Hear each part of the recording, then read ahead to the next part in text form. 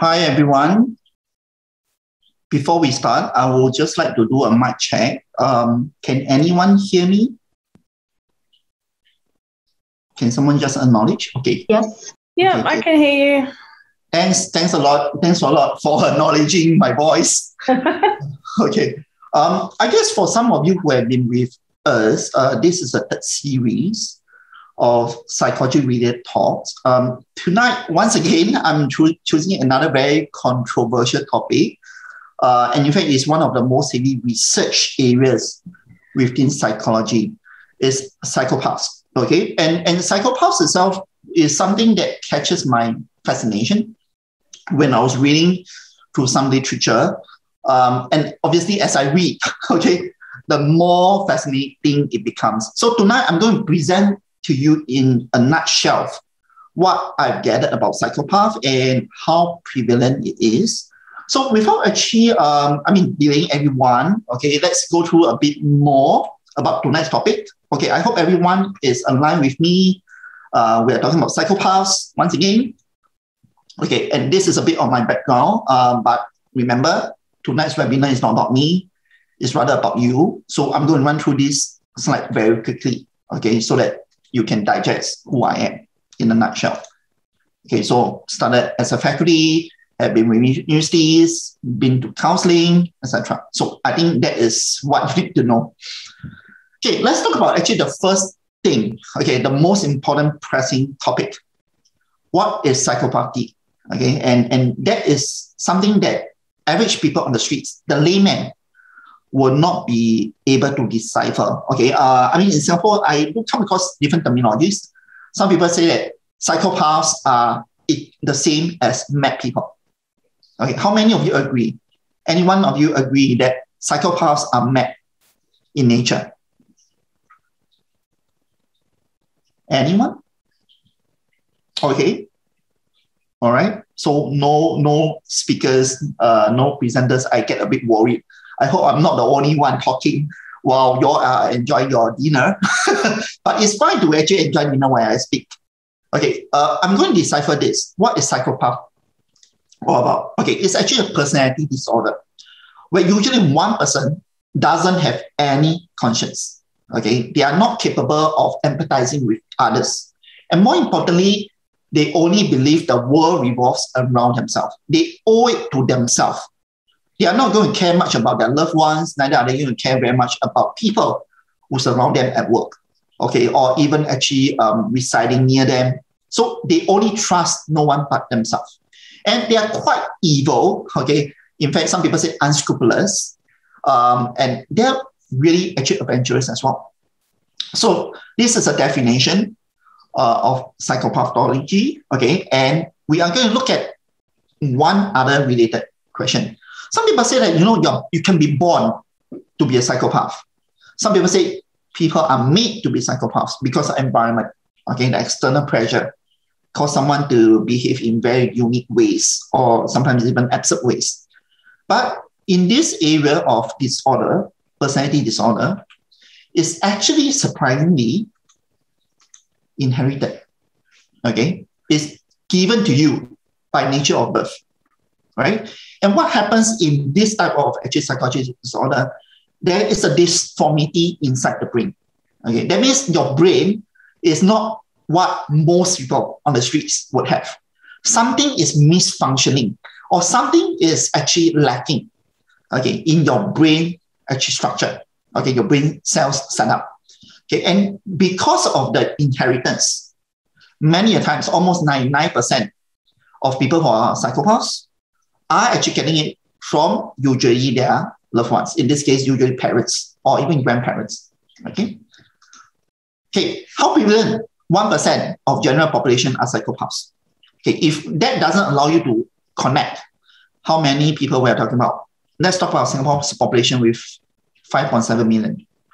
Okay, if I do a quick calculation, you're talking about 57,000 of us residing in Singapore that are psychopaths. So if that is not very scary, think about something that is even more concerning. Okay, we talk about 7 billion people in the world. Okay, and there's 70 million psychopaths living around us.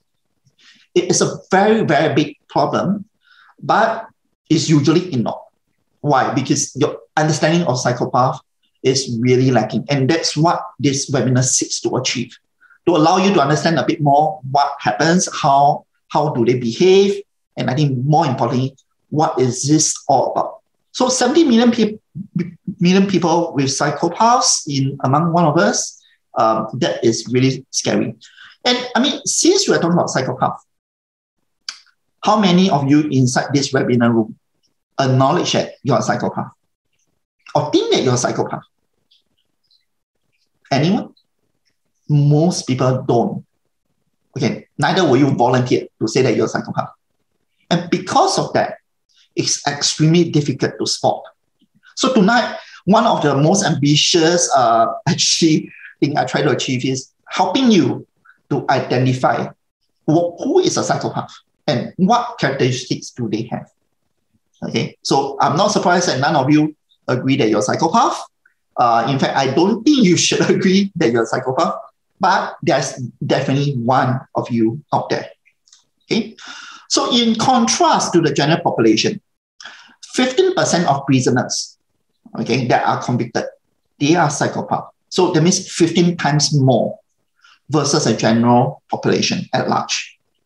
So do you think this is actually a big problem? I don't really think that prisoners, uh, especially when they're convicted, again, they are a big issue because even if they're psychopath, they're kept behind uh, bars. Okay, so most people, members of public will never come across them. Okay, they are serving time. They are usually being prosecuted for some wrong misdoings. But it does not just stop there. Later tonight, I'm going to show you a bit more. If within this 1%, something is even scarier. Okay. So before we go into that, I need to allow you to understand how many types of psychopathy there are. Different books, different authors uh, over the years, over the last 200 years of clinical research, okay, there is identified are almost 10 types of psychopaths, and each of them are slightly different. Tonight, I'm not going to deep dive into every one of them, okay, simply because the lack of time. Uh, but these are actually the possibilities, okay, of different categories of psychopaths out there. I'm going to focus in particular on item six, which is a white collar psychopath. Okay, because most of you, I trust, when you are with me, especially at seven, uh, I'll guess maybe a good 90% of you are working adults, correct? So white collar uh, psychopaths are actually something that's more common, especially in your circle. And I'm going to talk a bit more about six later on. Okay, let's talk about how to identify a psychopath. So who is a psychopath? Characteristics. Okay, in the past, when you look at actually this area of study, um, researchers always feel that this actually falls back on two dimensions. First dimension, okay, it has to do with social emotional needs. Okay, uh, psychopaths they are very superficial. They are not really putting their feelings into their dealings with people. They are actually full of deceit. That means, in other words, they lie a lot. In fact, they are habitual liars. Okay, it, it's not by choice. They choose, okay, to lie all the while, and they do it very frequently, so much that it becomes part of their life. They manipulate others. Okay, in this case, they don't really care whether are you their close ones. They will still manipulate you as well. Okay, and then of course, lastly, lack of empathy, and they have no guilt or remorse. They don't feel regretful about their actions because everything that they do is for them. So you can say that they are selfish. Uh, it's the most extreme of selfishness. Okay, so that is one of the key dimensions. Okay, that all researchers have found so psychopaths would have social emotional needs, okay, and certain behaviors. The second dimension is social deviance, okay. They do not actually follow rules. They will choose to rebel. They will choose to go against certain norms of society. Okay, and mainly because they are easily bored. They will need excitement. Okay, you need something new, challenging, uh, spiteful. Okay, to keep them going. The moment you ask them to sit down, okay, do something that's very much a norm, routine, they will not be that interested. Okay, they are also very, very impulsive. They sometimes they take certain actions without having second thoughts. And the last, they have a complete lack of control. They don't even know that they're doing the wrong things because they'll just go about doing it first before falling back. Okay, so these are the two dimensions that researchers have fall upon for many, many years, almost coming to 200 years. Recent research reveals otherwise. There are three teams actually. First team, in inhibition. Okay, they have problems with impulse control. And because of that, they can't control themselves. They do things very, very actually urgently, immediately. They are not going to be held responsible. They are, in fact, they're one of the most unreliable people you can see. Okay, in corporate work. Neither is it actually in social life as well. They are not your person to be trusted. Okay, because everything that they do is just based on impulse, on what they feel, rather than what is going to be happening. Um, so consequences is the last thing they will think about. Okay, accountability is the last thing they will uh, actually harbor or even actually adopt. Okay, they are extremely bold. Okay, they are not afraid of anything. Okay, they are only afraid okay, of not having something to do. They are very, very tolerant towards ambiguity. In fact, ambiguity is the environment that allows them to thrive. Okay, the more grayer an area is, the happier they are because that's where they can really put their manipulation powers to full play. Okay, surprisingly, they are also able to withstand stress. In fact, these are some of the most uh, actually capable people that's able to take, take tight deadlines. They are very dominant. They want to have the complete say over something. So boldness is the second thing. Okay, third, they can be really mean. They are evil, actually, uh, according to some research. They don't really attach themselves to anyone emotionally. Neither would they want to actually follow rules. So these are the three areas that reclassifies psychopath. And in fact, in a psychopath, you'll see all three teams together, right? So we just want to actually see, show you, okay, in the past, researchers, psychologists think that, oh yes, psychopaths have only two dimensions. But actually, if you look at recent research, it shows that there's three rather than two. Okay, and this happened in the last couple of years. Okay, 10 criteria. How do we know that you're a psychopath? First, okay, let's look at these five factors. Okay, they're very superficial, they're charming, they're intelligent. These are the brightest people in society. They have no anxiety when it comes to stressful situation because they can handle stress extremely well. They will not crack under pressure. Okay, they are very, very insincere. And in fact, most of the time they lie. So you are not going to get the truth out there. Okay, to manipulate you, they will choose to lie. They will choose to actually tell you uh, things that are not factual at all just to get their way. They have no remorse, no shame. Even when things go wrong, it's not their fault. It's someone's fault. And usually the people who are closest to them, that's at fault. So it's never them. They are not able to experience love or show you genuine emotions. Because you see, they are just like people who puts on a mask everywhere they go. Okay, how many masks? God knows. Okay, but every time when they talk to someone, they interact with someone, they are not going to show their true self. Okay, and these are five criteria that define them. Let's look at the other five.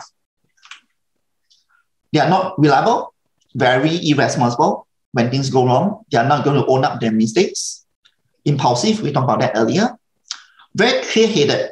Okay, when things are great or when things get messy, surprisingly, psychopaths know or seem to know the way forward. So they offer a lot of solutions. Okay. Uh, and they are not delusion, neither are they going to adopt irrational thinking. They seem to know what is happening and they always seem to have the solution to everything. Okay. And inability to profit from experience.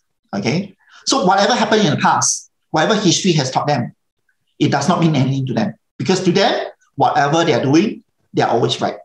And because they're always right, they will take advantage of people who think that they are wrong. Okay. So lack of insight, you're not going to get a lot of meaningful okay conversations out them. They're always hiding. Okay. So this 10 criteria defines a psychopath. Okay. And in a psychopath, almost all 10 criteria are present in the same person. Okay. All right. So questions offhand, if anyone. Uh, if you do have any questions, feel free to actually type in the chat session. I will answer them later. Okay, but that is not the most important part of the tonight's webinar. Okay, factors. Some of you who are psychology trained, you will realize in DSM, okay, DSM-4 or DSM-5, there is no such illness as psychopathy because it's classified as antisocial personality disorder. Okay, so psychopathy is not actually a mental illness.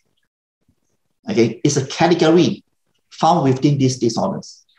And to look at seven factors, usually they cannot conform. Okay, people who are analyzed with this psychological disorder, they will not follow your social norms. Okay, they will always do things that's illegal or things that are not accepted by society. They would like to lie to get their way around. So it's always habitual lying, use of other areas, or they, sometimes they want to con others for personal gains. Okay, impulsiveness, okay, or they fail to plan. Aggressive, they can be really aggressive, they pick up fights. Okay. Reckless, they are not going to be concerned about individual safety, neither about other people's safety. So they'll just do it anyway without having second thoughts for consequences. Okay. Consistent irresponsibility. They are not going to assume responsibility, like what I mentioned earlier. Lack of remorse. Okay. So these seven factors okay, allows you to identify antisocial personality disorders. Psychopathy comes under this area in DSM-4. Okay, uh, and same thing in DSM-5, which is the latest version of the Bible of mental disorders. Okay, so for some of you who are interested know about others, uh, there's too much mental uh, illness out there, which I cannot elaborate in just a webinar or say 10 webinars. So if you're interested, you can do a bit more research in this aspect. Okay. So who do you suspect to be a psychopath? So earlier I threw a question um, to you in general. How many of you will acknowledge that you're a psychopath? Well, I, I won't expect you to acknowledge. But I want to do a small little experiment. Okay. I have three actually individuals here. Okay. So if you have been following me, okay, number A, which is the slick and collarless businessman. B, the smooth talking and manipulative lawyer. C, the arrogant and deceptive politician. Okay, what I would like you to do, I would like you to choose one two or three of the answers and key into the chat session. And let's see how many people chooses the right option. Okay, Sally says A, okay. Uh, Deborah says O, okay, interesting. A, B, C, okay, all right. All three, okay, okay. Some says B, some says A, B, C, all right, can be all. All right. Mm-hmm. Any anybody else? Okay, you can just continue. Um, let us reveal the answer. The real answer is all. Okay, all of them are psychopaths because they may seem to have only one or two of the characteristics I mentioned earlier. And because of that, some of you say that it's A, some say B, some say C, some say all. In truth, they are all psychopaths. Okay, and that's also the reason why it's so difficult to detect because some of you say A, some say B, some say all. So who is really actually the psychopath? They are, in actual fact, very, very helpful to you at first impression. Okay, and that's where they can mislead you. They are very, very helpful to you at the beginning, knowledgeable, charming, can talk, they are even charismatic in many cases. Okay, they can actually tell you lies and yet you choose to believe. Okay, and that's where they get really, really powerful. Okay, so if you actually have a chance to work with a psychopath or you have been working with a psychopath, it's as if you are actually part of a chess piece. Okay, on, on in a game of chess. You are always being played, okay, at the discretion of the chess player but you don't even realize that you're a chess piece. And that is where psychopaths get really scary. They manipulate you without you even realizing you're being manipulated. Okay. And in the last 25 years, something is changing for psychopaths. Okay. There's a sudden and dramatic increase in corporate psychopathology. Okay. And what really happens? Okay. In psychopath, corporate psychopathology, we call them actually snakes in suits. Okay. But they go by different names. Sometimes we call them corporate destroy- destroyers. They are out to destroy the corporation. Sometimes you call them snakes in suits. Okay, they go by many different names. They can also be known as executive uh, psychopaths, corporate psychopaths, okay, white collar psychopaths, successful psychopaths. So it depends on actually your the category uh, that you want to place them un- under. But regardless of the naming, they are all under corporate psych- psychopathy. Okay, so why is it very prevalent? Four percent, okay, of the population, general population, are business leaders. Okay, in fact, four percent of all business leaders and CEOs are psychopaths. Okay, so earlier I mentioned if I use Singapore as uh, actually a country, right, to calculate, we should have about 70, 57,000 psychopaths among us. But if I look at business leaders, out of all the business leaders and CEOs in Singapore, 4% are psychopaths. That means out of every 100 CEOs and business leaders, at least four of them are psychopaths. And that's four times the percentage of those found in the general population. Okay. If you look at CEO specific, 20%, one in every five CEOs are psychopaths. So don't be surprised that your CEO falls into this category. Okay. And it's not just CEOs. It could be your VPs, it could be your general managers, it could be even the president or even the chairman found in corporations. And they are psychopaths. Okay. And this is taken from research, okay, author and a book as well. Okay. Uh, but consistently, when a lot of actually university researchers goes into corporate uh, psychopathology, okay, the outcome is always the same. Okay, in fact, some people say that the percentage is not 100% trustworthy because this 4% has increased over the years to 12%. Okay, but I'll use the actually a very conservative estimate. Let's talk about 4%. And 4% is very scary enough. Of every 100 business leaders, four of them are psychopaths. So why are psychopaths really scary? I mean, yes, they manipulate you. They are out to actually cause some harm to their loved ones. But still, you may not agree that it's going to affect you as a person. And that's where actually it becomes very, very um, different because they could be your ideal leaders. They could be actually the leader that is steering your organization, or they could be the ones who's actually heading the company, the national uh, state government, so on and so forth. Because they come across as this, okay, they're smooth, they're polished, they're charming, they have all the actual attributes that people like in a business leader or even actually a, a leader at large. And but the downside, they mask their emotions. Okay, they have a dark side. They like to bully people, okay, especially their loved ones or even their colleagues.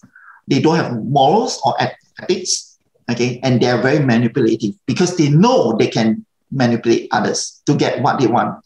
So because of that, okay, psychopaths always would want to go about achieving certain outcomes. So why do psychopaths enter work? What do they really want from the workplace? Three things money, power, control. Okay. And where can you find money? Banking. Power, politics. Control, maybe actually security or government. Okay. These three things are what they're after. So regardless of who they are, these are the three universal, okay, uh, ones that they're after. And because of this, you realize that the business sector offers all three. Money, power, control is all there, okay, all in the same corporation. And that is also the attributing reason why you see more and more corporate psychopaths entering the business world. Okay.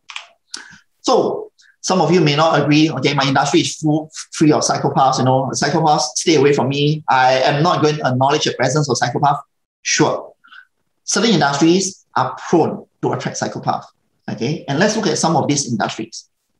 In the past, okay, psychopaths will try to go into these five main areas: politics, okay, media, police, religion, law.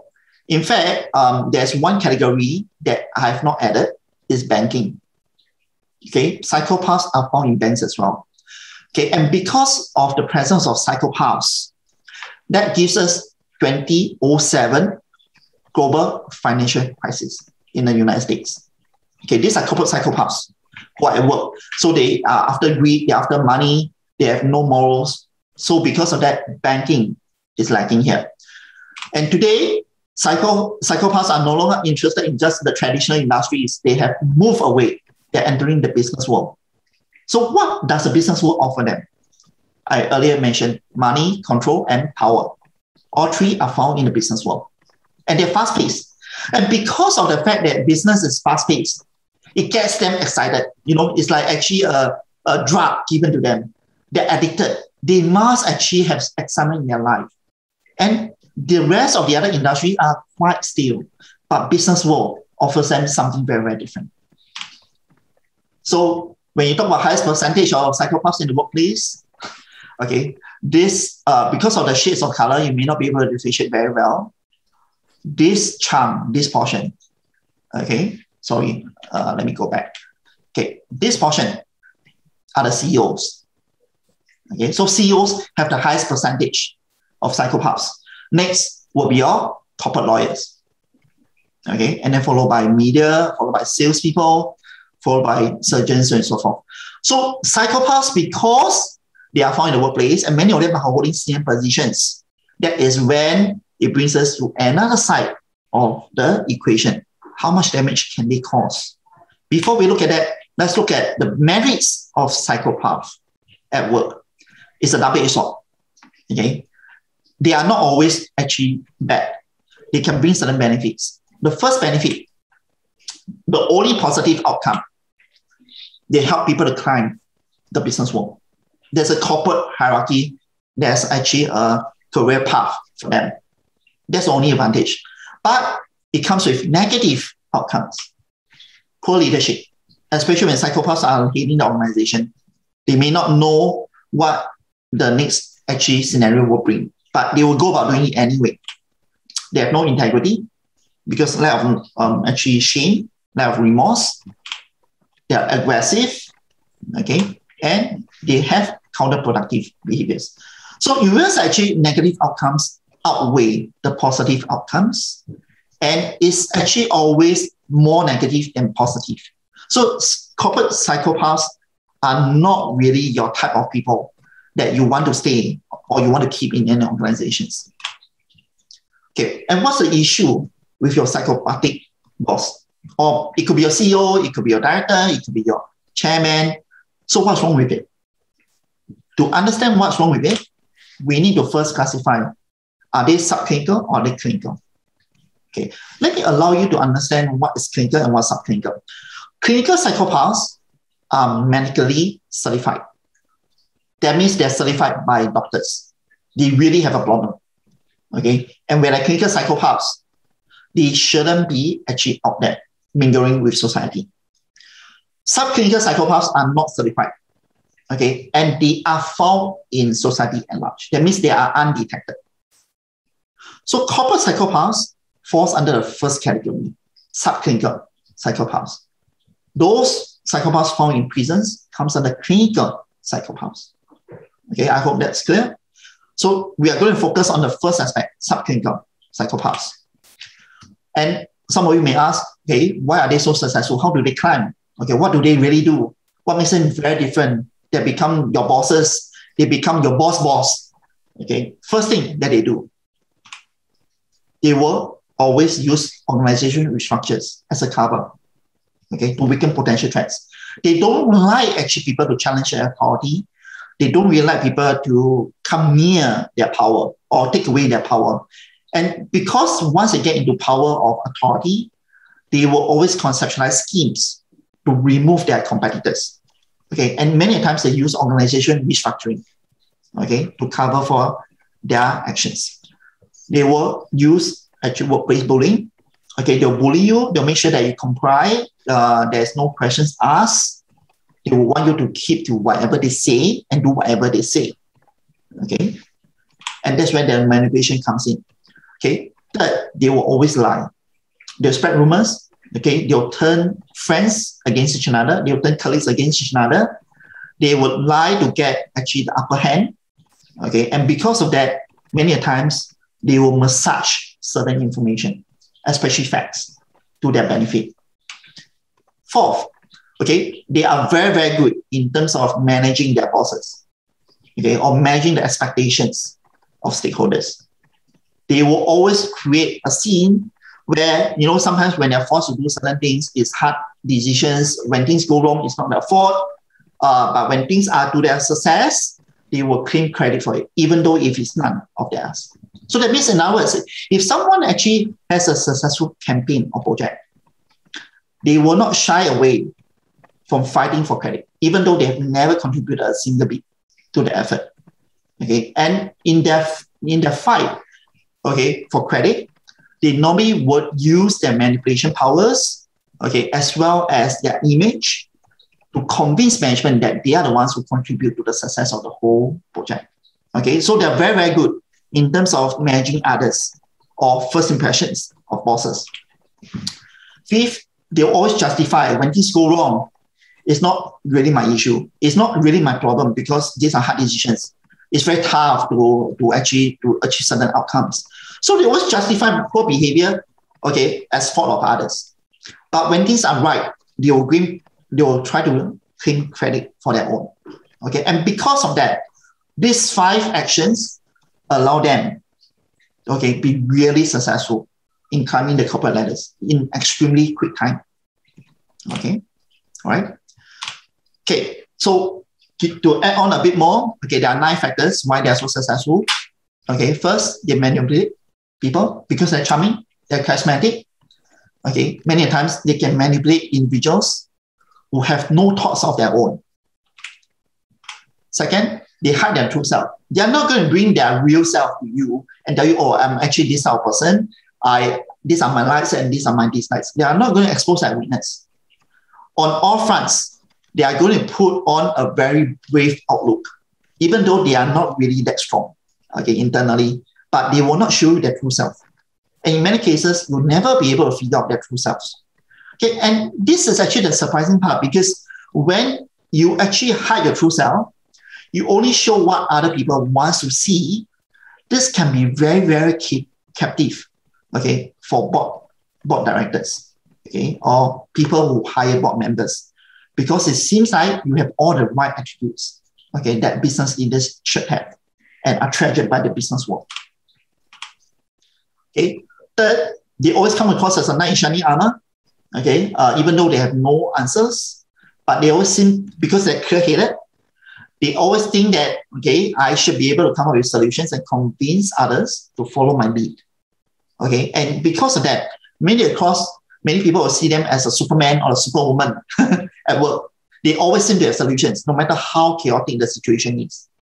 Okay, even though sometimes these solutions are causing even further trouble to organizations. Very, very confident. Okay, self-belief in his or her abilities to a sense, to the extent of complacency. Okay, they think that the world revolves around them. The corporation cannot do without them. And because of that capability, that's why the organization is successful or is supposed to be successful. Right? Okay, five, they are very comfortable with lying. In fact, they lie all the time. They are not going to tell you the truth. And even if there's a truth, they will massage okay, the truth to their advantage. They have no lack, okay, they have a short lack of fear of failure. They are not afraid of anything. You give them any task, no matter how challenging it is, they will take it Okay, and they'll say, yes, I can do it anyway. Okay, as long as you want it to be. And because of this, many bot, many bots will see them as aggressive. Many bots will see competence in them because they will take on any task that comes their way, no matter how challenging it is. These are a positive attribute uh, to bots around the world. High energy. They are always very bubbly. They are hopping around the office. Okay, they cannot sit still. They are enthusiastic about everything that they come across, anything they can lay their hands on, even though it's none to do, nothing to do with them. And because of this high energy and enthusiasm, many times they will dig their nose into other people's work and question why are you doing this? And why aren't you doing that? Okay?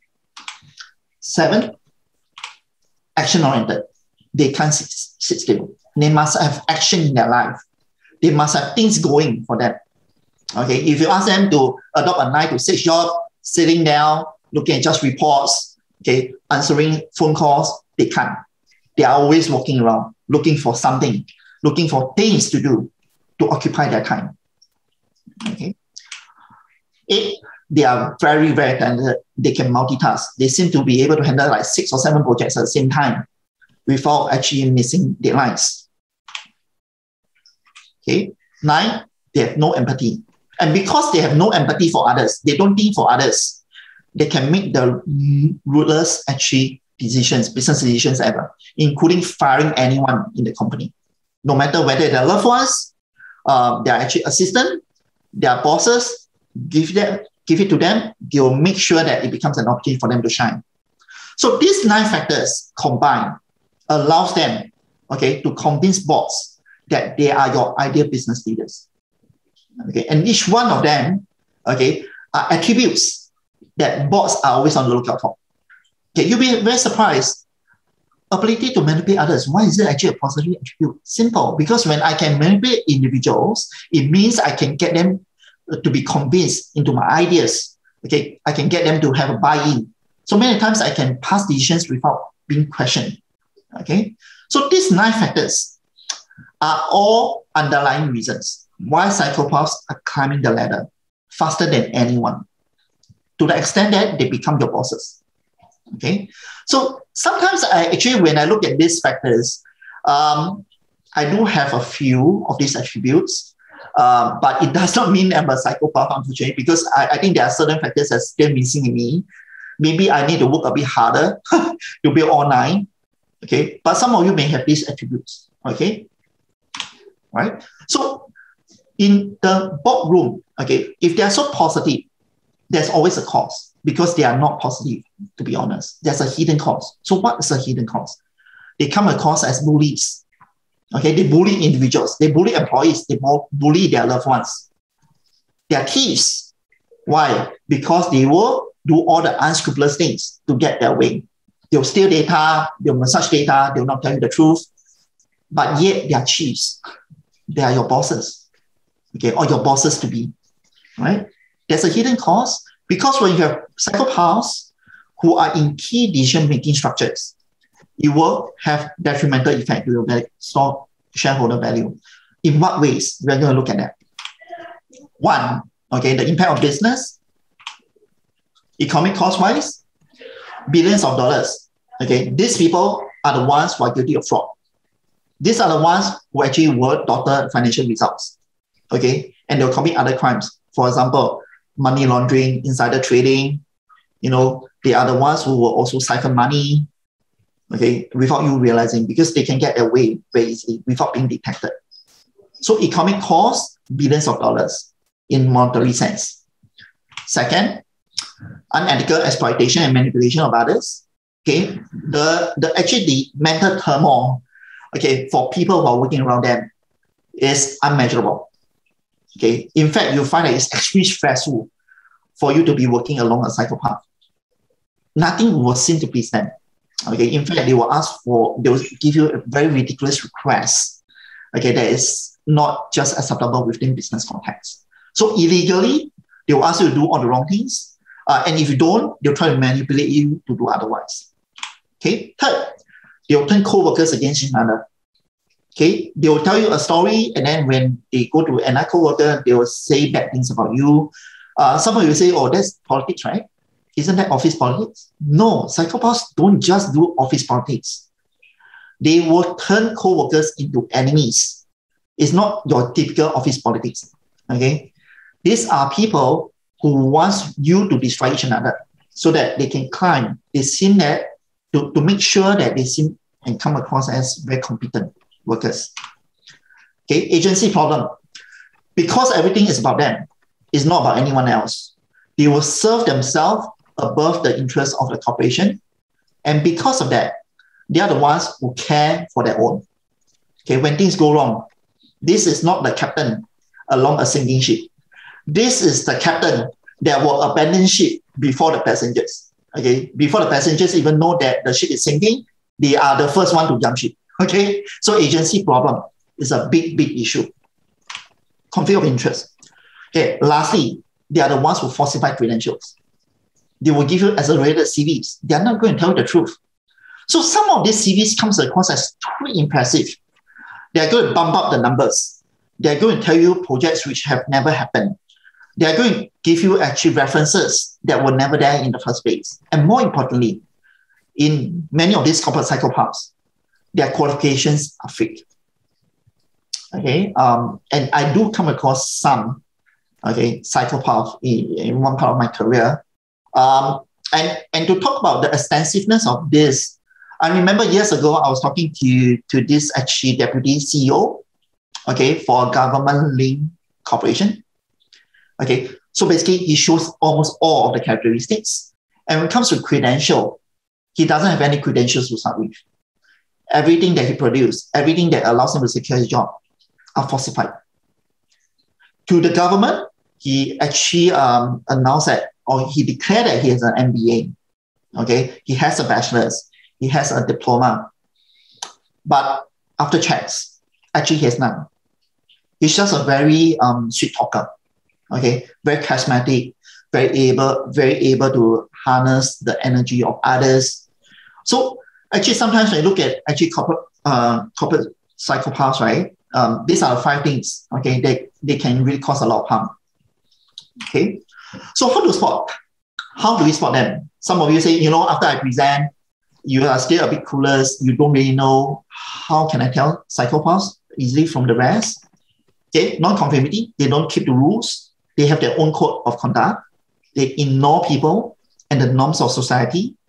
So they are just like a hermit. Okay. They live by their own rules. Okay. They're daredevils. They love challenges. They love thrill. The more exciting the task is, the more ready they are to embrace it. Okay. Because they are not going to hold responsibility anyway when things go wrong. They are mutual independence. They don't really care about anyone, only themselves.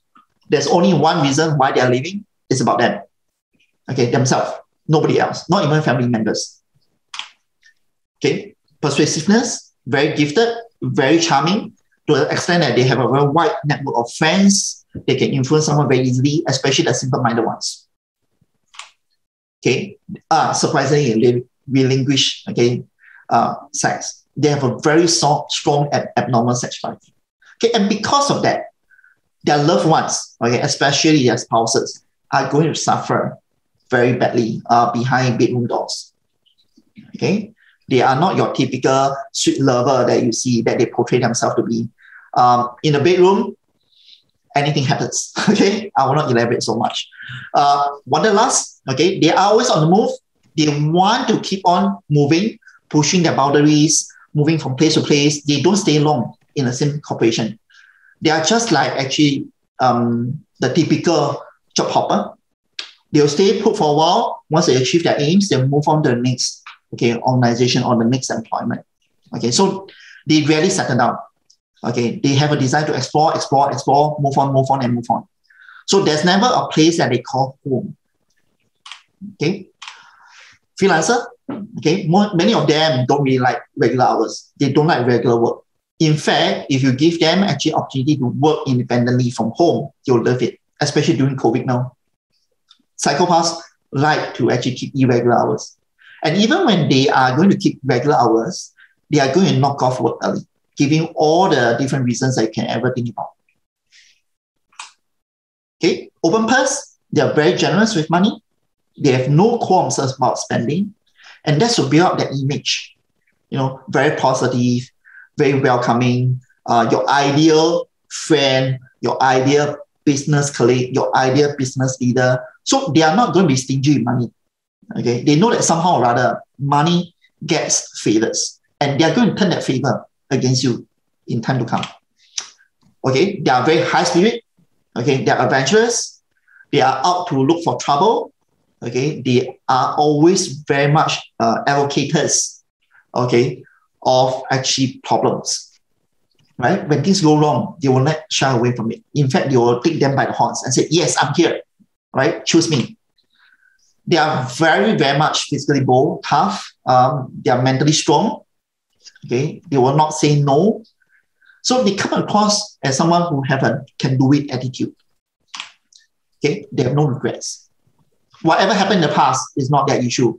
Whatever is going to happen in the future is none of their issue as well. What matters is now. Okay, they only care about the present, not the past, not the future. So to them, uh, the world revolves around the present. Okay, so key takeaways. Okay, I want you to walk away with the webinar knowing First, a bit more as a society, how we should manage corporate, uh, corporate psychopaths, how we can manage them better. Okay, um, to manage better, there are many different ways. Okay, some of them, some actually researchers have said, okay, you know, can, you can do a B scan, okay, to scan your organization for psychopaths.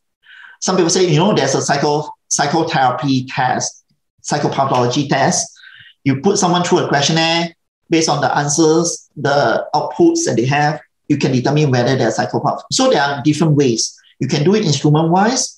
You can also do it actually um, qualitative wise. Okay, so for HR, um, it's really difficult to keep a corporate psychopath away because they are your ideal candidate in many cases. But you still can if you do sufficient due diligence, reference checks. Okay, and when I say reference checks, don't check with the peers check with the employees that comes under them, their peers who have worked with them. Okay, psychopaths have weaknesses, by the way. A lot of you think that, oh, you know, corporate psychopath seems to be the perfect candidate for any job interview. May not. They do have weakness, and their weakness are revealed to people below them, not people above them. Okay, so they are actually employees, their subordinates will be able to tell you a lot more. So in B 360 scan, that is when you actually get peers or actually their subordinates to contribute to testify whether this person that you're hiring is a corporate psychopath. Okay, and of course, credential checks, verification, these are some methods to manage, okay, and keep them up. Okay, what positions and control you can allow them? The best is don't allow them to have control over financial resources. These are the manipulative people who are out to cheat who are out to actually uh, do harm to organizations. And more importantly, they cause a lot of emotional turmoil to people around them and the workplace. Okay. So in, in this webinar, you guys, um, I mean, it was rather ambitious. I want to talk about a lot of things, uh, but yet I can't. Okay. And I've chosen to take a more focused approach on something that's emerging, found in everyday life. And what better place to find psychopaths than your workplace?